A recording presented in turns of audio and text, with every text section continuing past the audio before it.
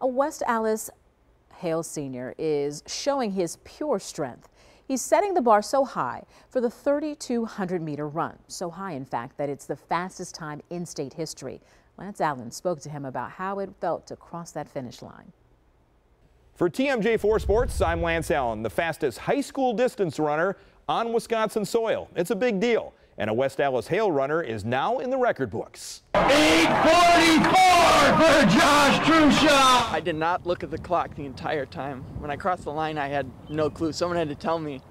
And uh, I almost didn't believe it at first. That might be the fastest 3,200 meter ever run on Wisconsin soil by a high school athlete. My coaches called it historic. Josh Truchon sets a new record in the 3,200. The more I thought about it, I was like, eh, that was pretty special.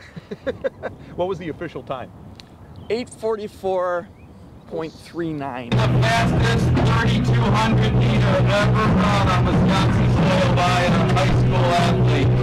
The state record by Drew Bosley, 857. A full 13 seconds better than any high school runner on Wisconsin soil, and only a second behind Chris Solinsky's all-time mark set in a California meet. I'm just excited for running in the future, all the places I'll be able to take that um, and go farther with it. And my coach is always saying no limits. If you remember, Josh won the state cross country title by nearly 20 seconds. Maybe expectations, but I haven't really let that get to me. There was like no, hey, you peaked, that's it, you did it.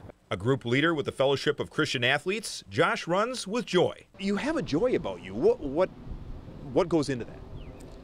It's just all the, the, amazing things that I'm blessed with, like my family, friends, and coaches, um, and all the people I've come to meet here at Hale. He sports a weighted 4.54 GPA at West Allis Hale, which might be more difficult. I was asking myself, would I rather race or do the test? And uh, definitely race. 10 minutes versus three hours. After high school, he'll run for the Wisconsin Badgers. And maybe we'll see him on the world stage someday. Every runner wants to uh, go to the Olympics. And if, I, if my running journey takes me there, um, you know, I'd, I'd love to run in the Olympics. And just think, state track and field isn't until the last weekend of June, so he's still peaking. Lance Allen, TMJ4 Sports.